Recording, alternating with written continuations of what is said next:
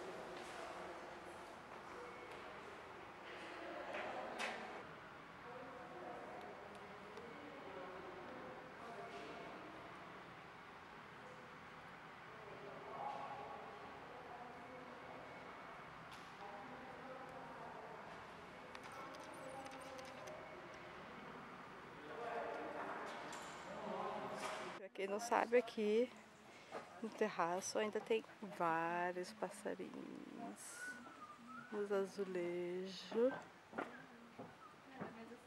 E uma vista linda. Sempre.